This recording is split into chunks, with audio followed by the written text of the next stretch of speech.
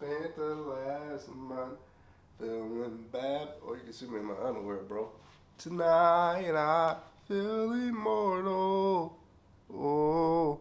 I got a serious question I gotta ask for the people that already saw the movie. So if you haven't saw the movie, um, can you please politely answer the video real fast? Especially those of you to be like, oh, I hate people that spoil the movie. So I'm letting you right now. About this this whole review is a spoiler review. So let's let's go ahead and walk y'all out real quick. All right. Appreciate you for coming though. We got everybody that, that saw the movie here, right? So this is what I gotta ask. And be honest now. Be honest, all right? It's just just us now, just us. If your life depended on it, would you smash Pearl? Be honest now. If your life depended on it, would you smash this? So let's talk about X. I believe Ti West is the director of this film. Surprisingly, they shot X and Pearl. Pearl, the prequel of X, is going to be coming out. So surprisingly, they shot both back to back.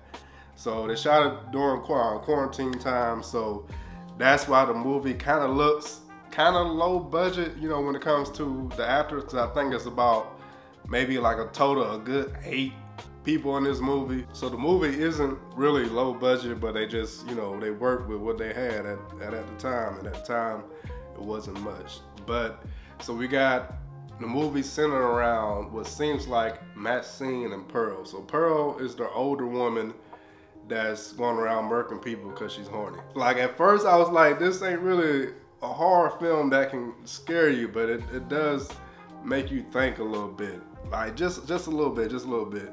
But hearing the, the director's idea of the movie made me appreciate it a little bit more because at first I was like, if this is a horror film you want us to take like seriously and actually have nightmares over this like this this ain't it this ain't it. No this is like a fun and like sort of charming movie not like a like a dark nihilistic movie. Me and my wife like i didn't i watched the movie by myself but i showed my wife like parts of the movie because like to me this movie is, is hilarious like especially the scenes with the older woman and if you didn't know the person playing maxine and pearl is Mia Goth. So that's why the older woman doesn't seem all like a real old person. It's, just Mia Goth in makeup.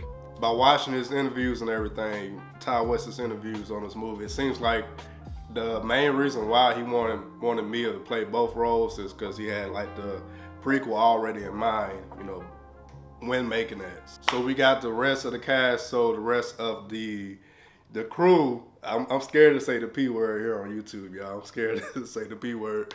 But we got the rest of the uh, crew. So we got Maxine's boyfriend that strangely reminds me, like, not the actor himself, but the character in the movie. He strangely reminds me of uh, Matthew McConaughey. Like, actually, like, when I first started the movie, I was like, is that Matthew McConaughey? The rest of the crew, I'm not even gonna pretend like I'm interested in the rest of the crew, because the the main reason I, I, wanted to watch this movie is is for Kid Cudi, and I'm gonna give him his his his uh, flowers and say his real name because he's he's doing his thing as like an actor. So I watched this movie mainly for Scott Mescudi. I'm 32. I'm a 90s baby, and I feel like that the the artist Kid Cudi touched a lot touched a lot of us when we was younger. Even though the film is about like the the the, the P crew, like it's not that much. Like it's still kind of tasteful. Like they didn't have that much sex in it and stuff like that. It's still like more of a horror movie than like the you know watching some vintage porn. I love the way the movie starts, especially the opening scene when like, cause the opening scene it reminds me of like you know how those those vintage films are when they have like those bars at the at the sides. I feel like that's the idea they was going for. And I think they're gonna pretty much open up the uh, movie Pearl the same way, but like in a different you know point of view, of course. When it comes to like a serious horror movie, like the beginning and up until the part of like the first kill when she um, was like dancing in that red light, which was like the blood covered um, headlights. I was like, okay, like that's kind of eerie seeing her do that. But as soon as they had the scene with her and Harold, and Harold was like, "Come on." Harold was like, "Pearl, we talked about this now." I was like, "Okay, so old Pearl, she just she just needs some. Like, she still she's young at heart." At this point, it was kind of like, okay, like this is this is it's, it's it's not a horror movie. It's not like something I'd be scared of, but it's definitely like entertaining. So I definitely kept watching, and I was like interested in Pearl at this point.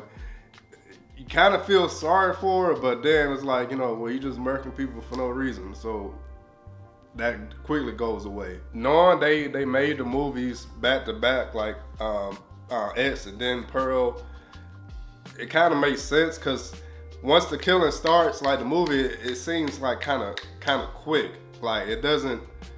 It seems like something something else is missing. So we just got like you know we meet the crew, uh, we meet Pearl and Harold, and then the killing start. And shortly after that, the movie ends. Maybe that's just supposed to be like an alley hoop to the next movie coming out. Cause I'm see it, but like you know, like I said, I, I, I mainly watch this movie for Kid Cudi. And I gotta give it up for y'all for not killing Scott Mescudi first, cause that's what I was afraid of. Like that was one of the reasons why I kept watching to the end. I was like, don't do my boy dirty, don't do my boy boy dirty. They did him dirty, but they did him dirty last. So I was I was happy to see that that we we passed that whole you know killing black people first and all that. I do feel like y'all did the the Kid Cudi fans dirty. Like y'all had him, y'all had like a whole musical number in the film and we didn't get like no harms from Kid Cudi. Like we got like a, a little of a. It seemed like he got he started getting into it. Mm-hmm. Like he almost hit it, but y'all didn't let him hit it. Of course, I could talk about Kid Cudi all day, but when it comes to this film, like like the director Ti West said, um, when it comes to like a a light-hearted, um, entertaining, fun film, like this is it. This is it. This, this is what you'll get you'll get something entertaining, something that you don't want to stop watching. But when it comes to something that you can take away from it, the only message that can be behind this movie is is um, your youth doesn't last forever. These are the parts of the movie where it starts to feel like sad because it's realistic that you know we're all going to get old one day and, and, and all this is going to stop working. So you can feel it a lot right before the first kill because Pearl she just she just wants some affection and, and her husband can't give it to her even though he he really wants to. She just wants some affection. She just want to feel wanted. She just want to feel love and we all want to feel that deep down. So that's the only thing i can take away from it. Kind of made me want to say like okay well i need to make the best best out of these these 50 70 or however many years god willing that i can when it comes to to that's word. This hyped up Pearl a lot. This hyped up Pearl a lot. Like I'm not interested in the the, act, the actress Mia Goth and the other actors in the Pearl film, but I am interested in Pearl's story. Like how did she get there? How is Pearl and Maxine connected? Maybe I'll do a follow up uh, review on uh, Pearl as well. Me and my wife definitely got some inside jokes with that slow dance scene, but Nah, that's this this junk is hilarious, man. But all right, man. I need to go take some medicine.